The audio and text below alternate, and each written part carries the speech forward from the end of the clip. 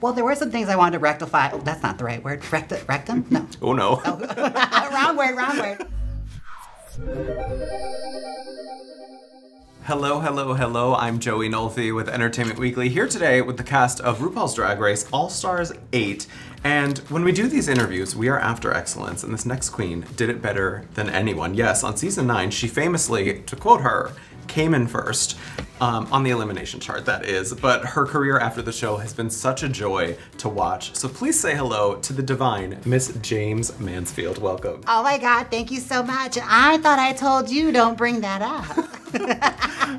I love that. That voice is just, uh, love it. Oh, thank you. I've been told it's, what's that word? Grating? It sounds like a good word. I don't know what it means, but. Grating. Like cheese, you grate it. Yeah, Wisconsin. It all makes sense.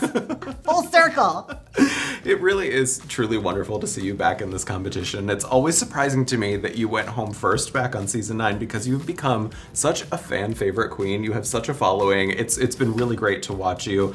Uh, so what was that like though, having gone through that whole experience, going home first, and what kind of obstacles do you think that placed on your career afterwards? I mean, at first it was your usual trial and tribulations of being devastating, horrible, you know. I didn't know how to go. On no, I'm kidding, I'm kidding. Actually, like, it was a nice kick in the rear because I went on RuPaul's Drag Race to give myself a boost and get out of Wisconsin, and I did. And it was honestly just the push I needed to like push right on stage and start performing, make it mm-hmm. happen. So yeah. it was the drive I needed to just start making my own career for myself. And I vowed that what they did not get to see on the show, I would make sure they saw everywhere else. Yeah, and they have. You have done a lot. We're gonna talk about Who Stole Christmas later because Oh, I, I, I mean, if anybody has not watched that, you, what is wrong with you? Because it is uh, Jaymes stole the show on that movie. You really need to watch it. Um, Thank you. Of course. What was your goal going into All Stars 8? Was there certain things that you maybe wanted to prove to the fans um, this time around versus your first time around? Well, there were some things I wanted to rectify. Oh, that's not the right word. Rect- rectum? No. Oh no. wrong word, wrong word. Well, there were some things that I wanted to like, you know, just put out there and try and do over again because when I got on Drag Race the first time, I was what you call a baby queen. Mm-hmm. I literally lied on my audition tape and said I could do a million things that I could not do. But I learned somewhat how to do some of those things. Now I'm coming back with a much stronger arsenal of things to use in a competition. Mm-hmm. So I honestly feel really, really good about everything that happened. What did you lie about being able to do? Well, I was just like in my audition tape, like, you don't understand. I'm a fierce dancer. I'm an amazing lip syncer. Like everything that drag queens should probably know how to do a little bit. It was like I'm a great makeup artist, but they saw the makeup, so I don't know how they got. They're like, maybe it was a rough day that day. Who knows? Did anybody say to you when you got on set, like, Jaymes, like, your audition tape, remember when you said you could do all these things? You can't? No one ever called me out for it, but thankfully, you know, I've managed to correct those things now. Yes, definitely. I mean, come on, look at the material. I mean, truly. It's stretch satin. No, it doesn't stretch. It's just satin. Just satin, just, Just regular satin. satin. What, what do you think is the biggest thing that has changed about you since your original season, though? I have to say that I'm just more comfortable in my own skin. Yeah.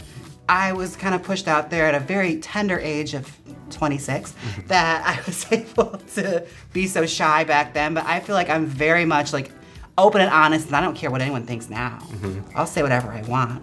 That Yeah. top is interesting. Interesting.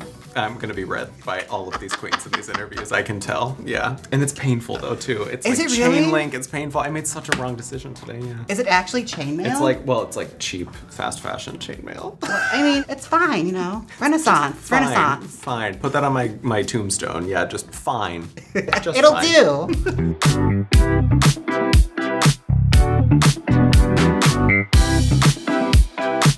I've always wanted to ask you this. Have you ever, on your original season and this season, were you ever afraid that Mariska Hargitay was going to be a guest judge? Actually, not really. I, mean, I feel like she would like me because everyone likes yeah, me. yeah. But like, I don't know. I've only heard a few stories about Mariska Hargitay. Mm-hmm. There was one story I got at Yo, DragCon please tell it. Please where they told me, yeah, I coach for Mariska Hargitay's soccer team for her son, and Oh. I tried to mention you to her, and she didn't seem very interested. I was like, that's iconic. That's, oh, I kind of love that. Like a soccer mom who doesn't have the time. But imagine how many gay guys come up to her and say, "Yeah, I know Drake when it does your mom." She's like, mm-hmm. "Sure, they do. They all do." Yeah, yeah. So you haven't heard from her ever? No, mm-hmm. Have you ever tried to contact her? not her or any of Jane's children. Although, like, I know they're all in the LA area, and I think one of her sons lives in Vegas. So if I wanted my house, I want to buy a house. He's a real estate agent. She knows. she has done the research. I know. I know who to avoid. So uh, fans also have long speculated or like dreamed about having like an early out season. So how do you think you would fare in the context of that versus like a group of queens like All Stars 8? I always got my name tossed in that conversation, but I always stuck to this where I like the fact that I was cast in the season as a competitor, and it wasn't just the gimmick of I went home first. Right.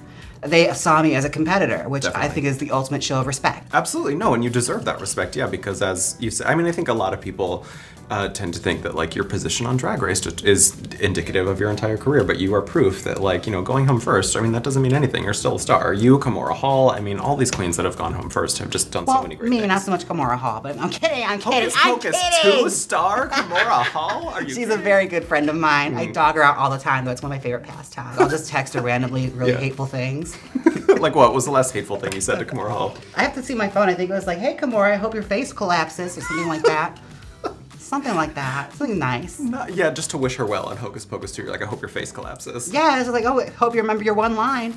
Yeah, but those kind of nice things. She delivered that one line with the most charisma I've ever seen anybody deliver one line before. Who says she's not an actress? She is definitely an actress. Although Cornbread did tell me that she literally stayed up the entire night beforehand, going over 17,000 times that one line. She was like, What you saw on TV with Kahmora is. Imagine exactly hearing that through the walls. I know. Being on the other side of that. Oh. Oh my gosh, should be calling. There's an exorcism that we need in this hotel. Now, you also left the show as one of only a handful of queens in the history of Drag Race who's never done a legitimate sewing challenge. So, Yes. were you fearful of that this time around? And how do you think you would do in a sewing challenge? Before, obviously, we can't spoil anything about the season, but heading into All Stars 8, were you like, okay, I'm gonna have to do a sewing challenge this time? I understand, like, that's like the snatch game. Like, we all know it's coming. Yeah. It's one of those challenges you mm-hmm. know you have to know how to do. And I was fairly confident because if you watch my YouTube channel, you can see I do many different things. so I know how to sew. I actually went to school for fashion design. Yeah.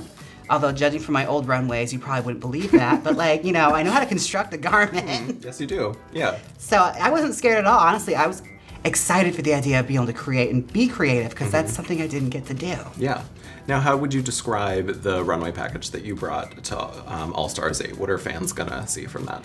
Let's just say my package is extra. Extra. Jaymes extra, like Doublemint extra, you know? Mm-hmm. it's still Doublemint cheap, extra. but it's got a nice little buzzword on it. No kidding, kidding. that. It's all about personality, even in the fashion.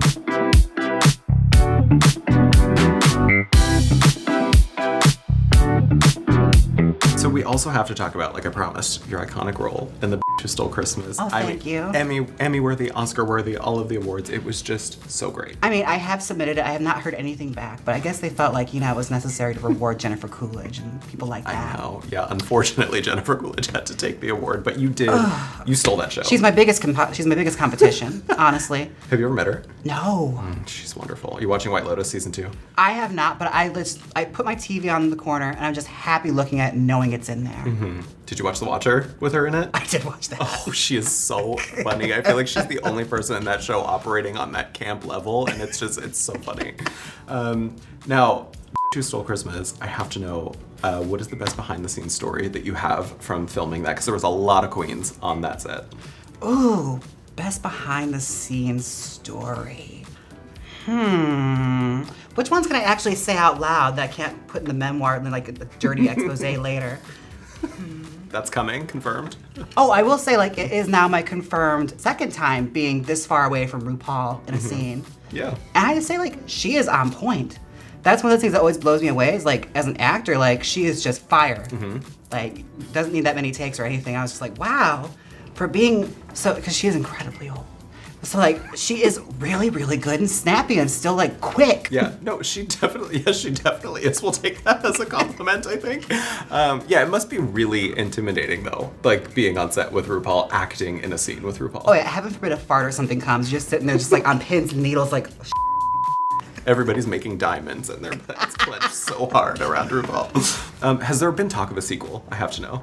Um, no talks of sequel, but I did mention to it like it'd be great if I came back and you know just terrorize the town because I was the villain in it. So I feel like it's a great you know revenge kind of vehicle. Mm-hmm. You know, like the dressmaker that could be fun, but Christmas themed. Yes.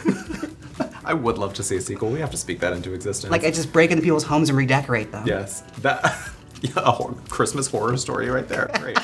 also, in your past, you have worked with Trixie a lot. So, what is the best story that you have about Trixie from your early days of drag? Early days of drag, I have tons of stories about her. I've known her forever now. Um, one thing I will say about her is it never mattered how horrible the gig was, she always took it. Like, even ones I gave her, like, she did a show for me once for what was clearly a for profit organization. It seemed like an MLM that I just got onto because I wanted to, like, perform at a benefit. So I was like, yeah, I can only pay you like 20 bucks and they're not paying me at all, but we'll get lots of pictures taken of us. And she literally like made someone cover her shift at the steakhouse and came down and did the show with me.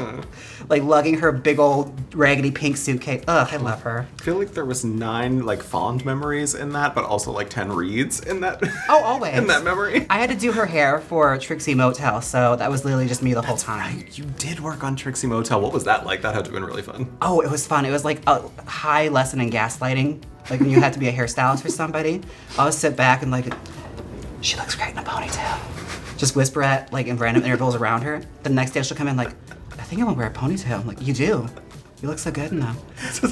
That show was so crazy. I mean, seeing Trixie actually like hold like power tools and like bust down walls. Did you ever get into that with her? Did you do any of the deconstruction? I did not, but she was a fool and actually knocked down a wall in full drag, so I got to see Yeah. her eat and fall face forward into it. Yeah, she did. Was she actually injured from that, or was just like I don't know, but she fell on her head, so she's fine. she's fine? Hard head. Hard head.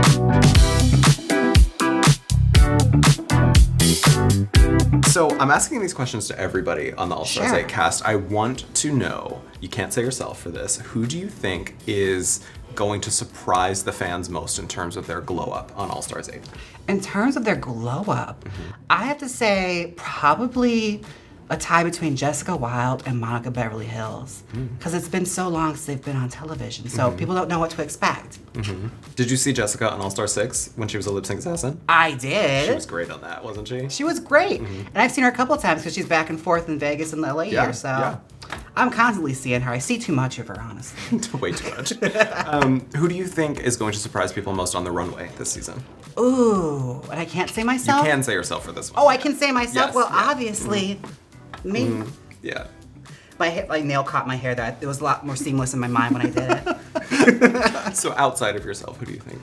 Ooh, outside of myself, I think Jimbo is always unexpected. Oh, you never yeah. Know what's gonna come out of her. Come out of her. Yeah, you know, costume, shape, smell. You never know. You never know. Did you consult any other Ru girls who had done All Stars before? Yes, actually, I live in Las Vegas, so like I'm constantly at shows with Coco Montrese Yeah. and Alexis Mateo. Hmm. And Coco knew what it was like to, you know, go home first. So I was like, well, how did that feel? And she's just like, well, it happened. you never know. The thing about All Stars, they always mention to me is like, you never know what's going to happen because it's completely in someone else's hands. Yeah. The judges absolve themselves from any responsibility. The only way to do it. Yeah, and I have to like be mad at all my competitors if I'm at the bottom. And it's like then I also have to plead to them to make sure I can stay. It's horrible. It's a psychotic, you know, mental game. Yes. Oh no, 100%. Everybody's face in those, like when they're doing the lipstick stuff, I'm just like, oh my gosh, I cannot even imagine being in that position. But with Alexis, did you ask her um, for advice on how to either start or defend yourself from a campaign being started?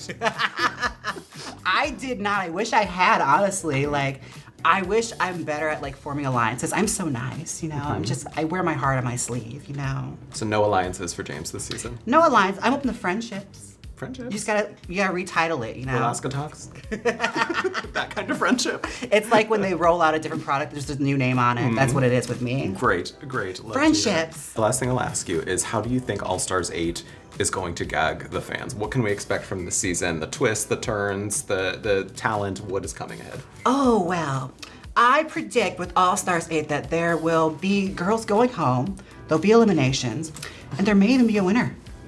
Three things. Only three things on this Oh, season. and possibly guest judges. Some of them may even be celebrities. but not Mariska Hargitay. Probably not Mariska Hargitay. I think she's busy doing SVU season 89. Yes, right, right. Well, hopefully we'll get you on season 90. Ooh, I could play a dead body. that would be great. I could do that. Yes, just show them who stole Christmas and they would be like, no, not dead body, fully alive, Oh, well, like- charismatic. I'll just do a full PowerPoint presentation. Like, see, see this. Come on now. Absolutely. Jaymes, this was such a lovely interview. Thank you so much for being here, and I cannot wait to see what you do on All Stars 8. Thank you, sweetheart. Of course, of course. Change that shirt. It looks like it's cutting you up. I'm gonna change it before the next interview. Yes, no, this is no more interviews in this shirt. Um, stay tuned for more with the cast of All Stars 8.